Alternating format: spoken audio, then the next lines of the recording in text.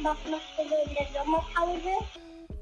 Ähm, Sommerpause, mit meiner Familie Zeit verbringen, mit meinen Freunden dann halt auch mal so ein bisschen an See fahren oder sowas.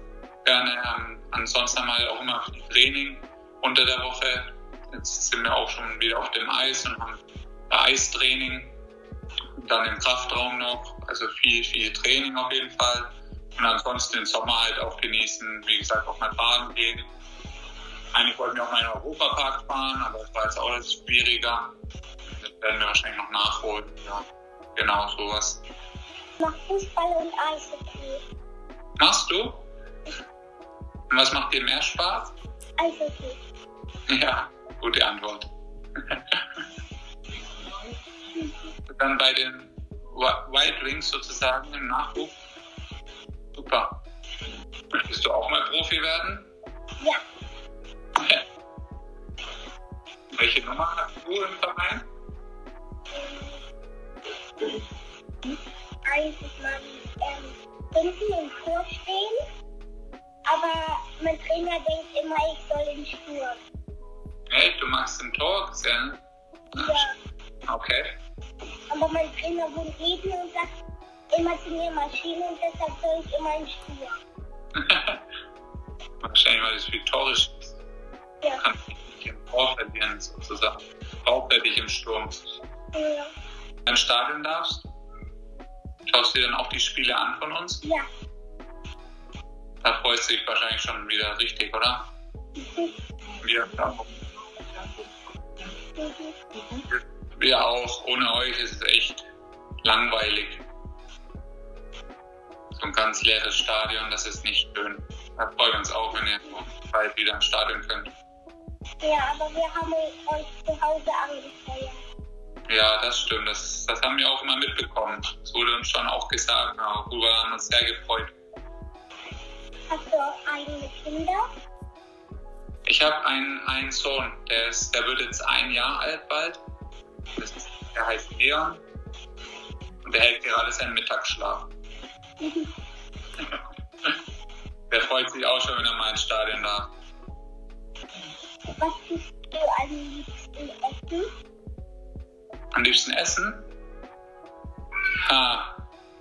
Ah, hast du mich jetzt erwischt. Ähm, naja, als Sportler muss man natürlich meistens gesund essen. Das ist schon so, weil das merkst du dann bei der ganzen Anstrengung. Aber ich esse auch gern mal Schnitzel oder wenn ich jetzt hier bin, Spätzle, Maultaschen.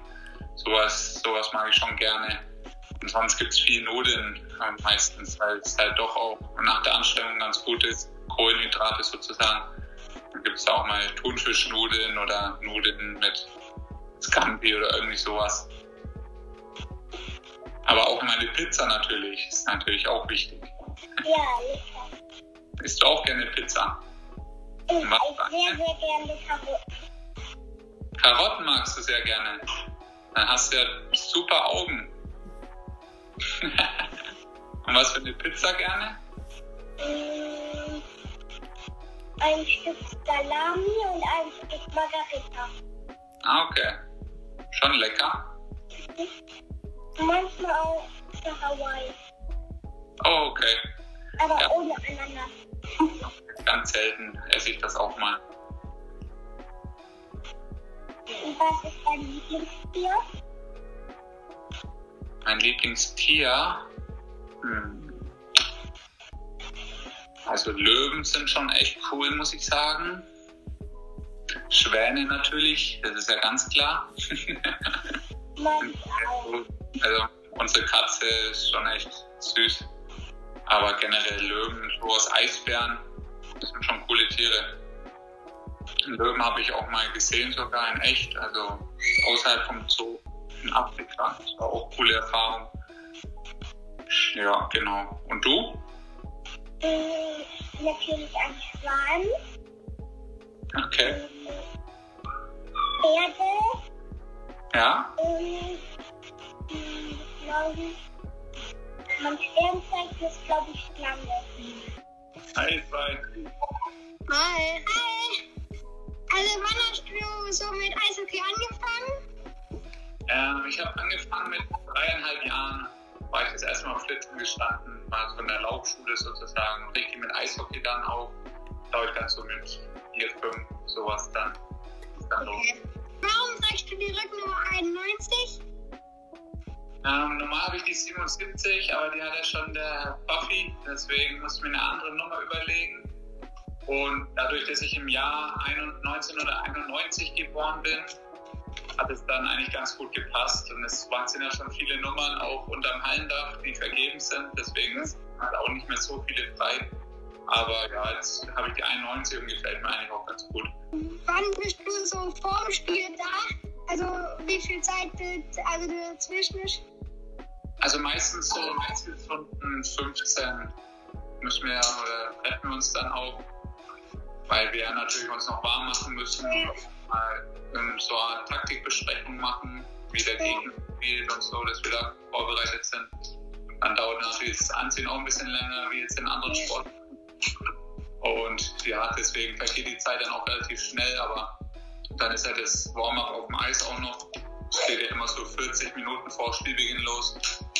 Genau, und dann hat man da so ein bisschen seine Rituale vor dem Spiel. Also in der letzten Saison hast du ja äh, also Stürmer und Verteidiger gespielt, ob du das beides genommen hast oder? Ob ich was, sorry? Ob du Stürmer und Verteidiger gespielt, äh, äh, genommen hast, weil du ja letzte Saison äh, beides gespielt hast. Ja, genau. Also ich habe auch, wie du sagst, und wahrscheinlich werde ich das nächste Saison auch wieder machen, weil ja, die Trainer werden mich dann da einsetzen, wo halt die Mannschaft mich braucht. Mir hat das Verteidigerspiel, weil ich ja eigentlich Stürmer bin, aber ähm, schon Spaß gemacht und kann mir jetzt auch vorstellen, in Zukunft weiter Verteidiger zu spielen. Also bin da relativ ähm, offen für die Position und ja, spiele dann da, wo ich gebraucht werde, wenn halt vielleicht mal einer ausfällt oder so, das, was wir natürlich nicht hoffen, aber ja, dann werde ich auch da einspringen, wo der Trainer dann sagt, dass ich spielen soll. Aber macht, mir macht beides eigentlich sehr viel Spaß, deswegen bin ich da nicht so, ähm, wo ich sage, ich muss jetzt nur Stürmer spielen oder ich will nur Stürmer spielen oder nur Verteidiger. Okay, okay. also was war bisher so dein größter Erfolg? Okay. Ähm, das Spiel auf jeden Fall. War eine große Ehre für Deutschland zu spielen. Ansonsten jetzt im Vereins-Eishockey haben wir mit den Star Wars Rosenheim in der dritten Liga damals die, den Titel geholt und sind aufgestiegen, was ein super Jahr war für uns.